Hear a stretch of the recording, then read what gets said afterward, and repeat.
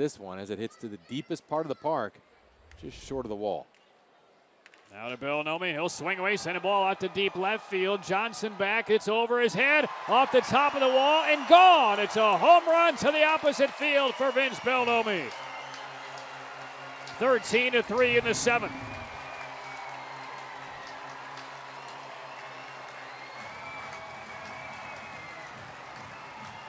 That's the fifth for Belnome, just clearing the top of the Blue Monster the other direction.